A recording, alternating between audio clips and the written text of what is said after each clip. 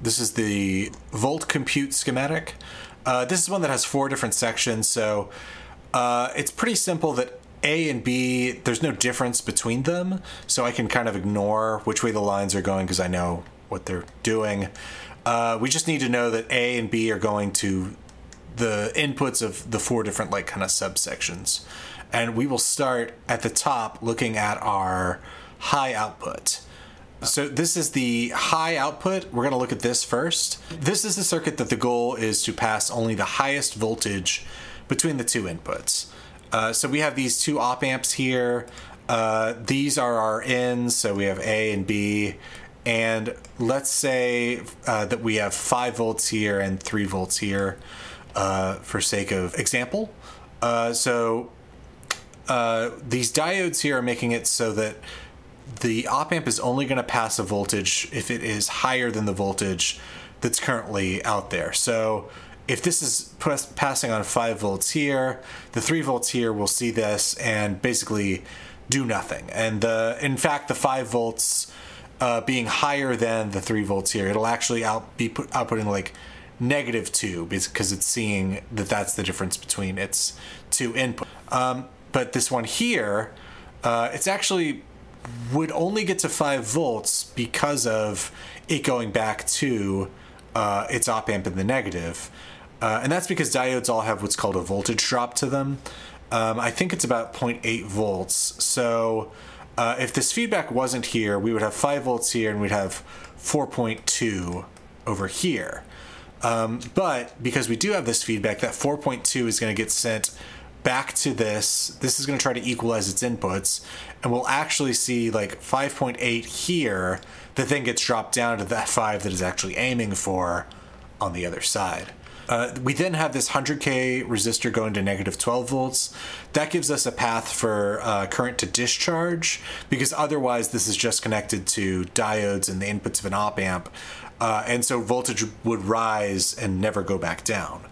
Uh, and we're doing to negative 12 volts instead of ground because we want to be able to pass negative voltages as well as positive voltages. Uh, and then this just goes through this 1K resistor to the high output jack.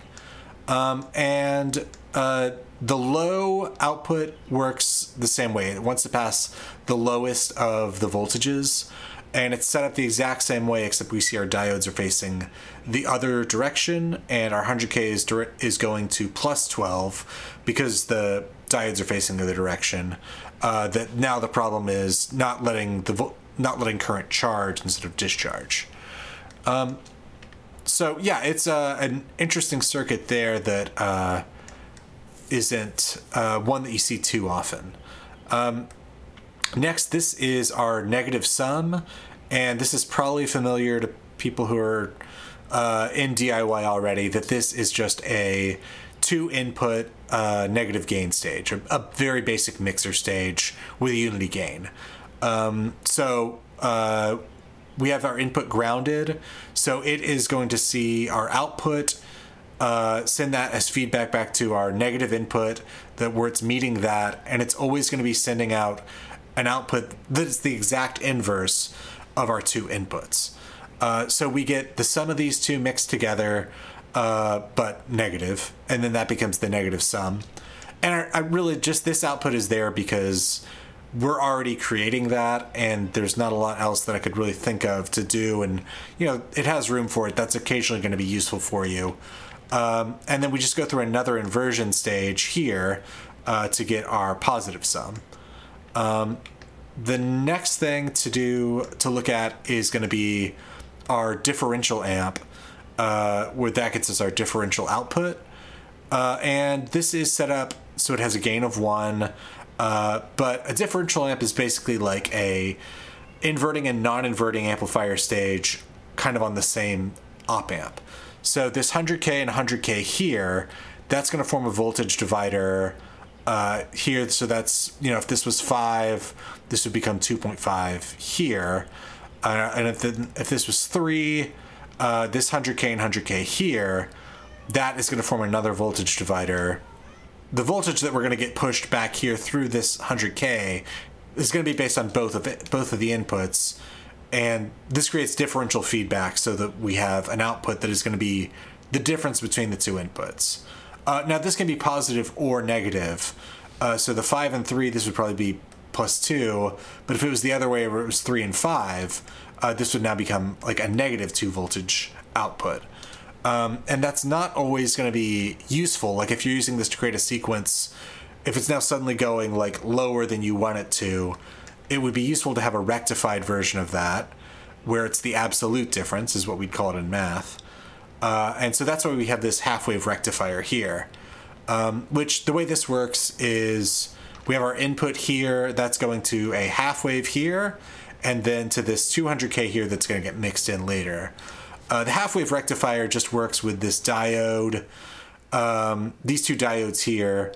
This is making so all of our uh, positive voltage is going to get fed back immediately to it as negative feedback uh, only negative voltage is going to go out towards the rest of the circuit.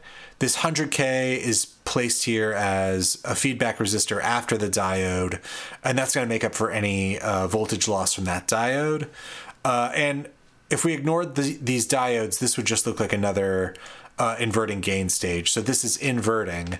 So everything that was positive going into it is going to come out as negative, and everything that was negative that was going into it is going to come out as nothing. Uh, so then that negative signal and the original signal are getting mixed together at this mixing uh, inverting gain stage, uh, which is going to output, which the way these things add together, you're going to get no negative voltages and just positive voltages. Uh, the inverted uh, positive voltages were negative, which become more negative. it gets a little confusing. Um, there's other explainers that go into just this that could go into more detail. But uh, that is, yeah, that's everything that's uh, going on in this circuit. Uh, the power is just everything's on uh, plus or minus 12 volts with my usual filtering with the 10 ohm resistors on the front. Um, so yeah, that's what this module does. Uh, thank you so much for watching.